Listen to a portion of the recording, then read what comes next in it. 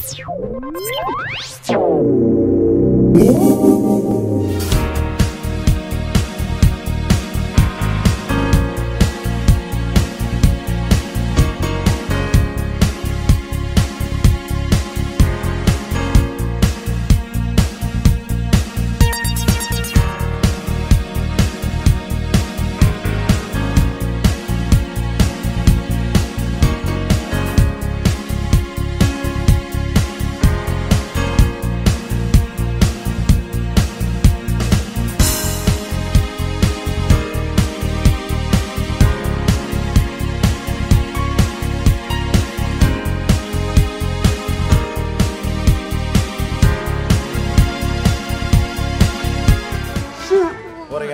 voor mij? Het begint dan met B even met dat ding. Wie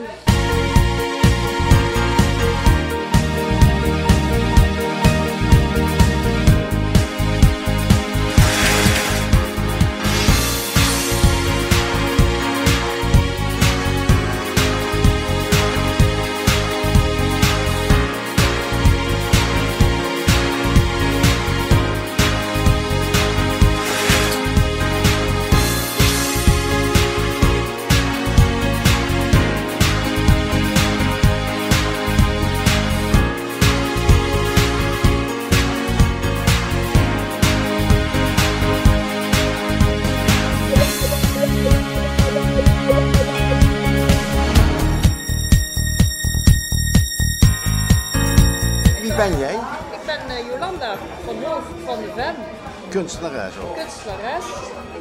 Ja, En doe jij verder nog wat in het leven of alleen kunstenares?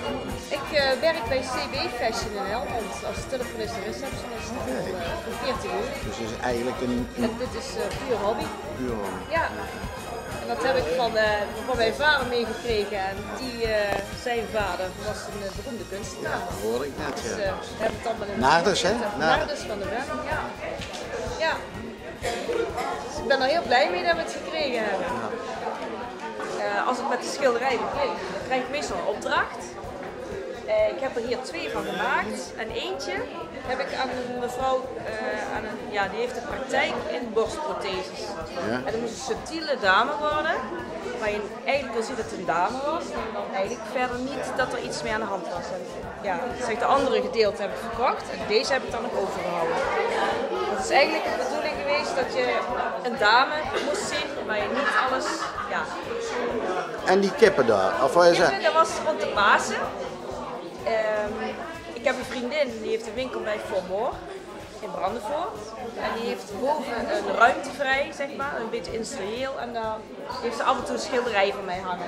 Het was rond de Pasen heb ik een aantal schilderijen met kippen gemaakt. En dat is nog over. Ja.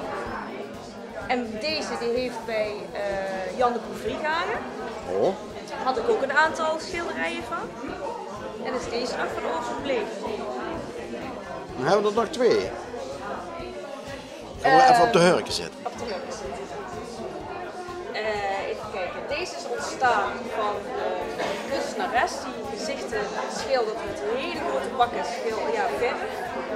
En die, heeft, eh, die maakt schilderijen, is een Franse schilderes. Maakt schilderijen zo groot als een wand, gewoon echt een muur. En die heeft zo'n grote bakken verf en die zet alleen maar met palet strepen op, zeg maar. Oké. En ja, daar ben ik thuis ook mee aan de slag gegaan, van in het klein. En dus deze is goed gekomen, dus echt met palet, laag op laag. En dan die? De tijd dat ik in de winkel stond, eh, met 26 dames bij eh, Didi in de Heuvelgalerie. En dan heb je zo'n dag dat het heel erg druk is geweest. En dan ja, komt dit zoiets tot stand. Kijk. En als je dichtbij gaat staan is het alleen maar kleur en dikke lagen. En als je ver af gaat staan dan zie je twee balletdansers.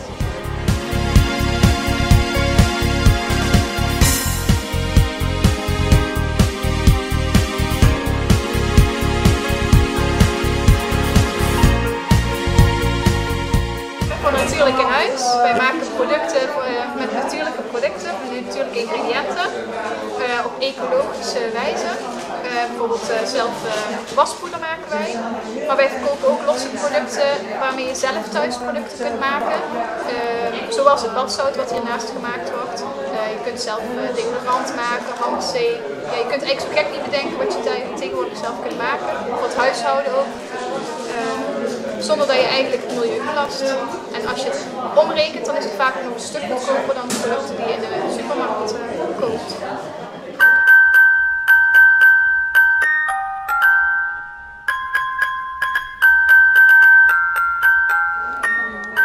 Zo, vrolijk kerstfeest. Oh ja, het duurt nog wel lang, maar het komt ieder jaar terug, hè? Het komt ieder jaar terug, hè? Al 2000 jaar ruim. Dat bedoel ik. Zeg ik het dus ook Ja, dat me, hè. Dan niet.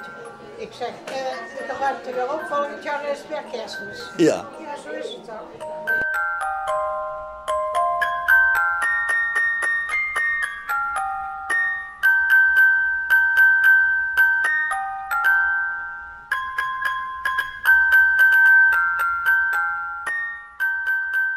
Hallo, ik ben Astrid Lieshout en ik organiseer deze creabeurs.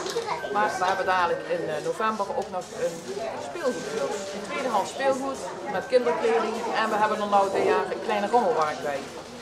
Dus daar kan je verkopen eh, wat huishoudelijke dingen, kopjes, pannen, koffiezetapparaat, noem maar op.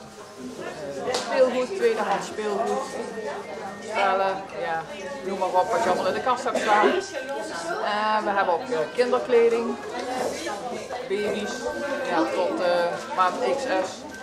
Maken het allemaal verkopen, ja. Wanneer wordt dat georganiseerd? 27 november. 27 november. 7 wanneer? Van 11 tot 2. En de intree is gratis. Dus dat is deze maand. Ja, dat is deze maand. Dus we hebben volop. Je moet nog standhouse eh, zoeken. Ja, als er nog mensen zijn, er is nog plek. En dan kunnen ze mij, eh, kunnen ze mij een mailtje sturen naar astrid81069.gmail.com Of mijn telefoonnummer 06 14 10 81 89.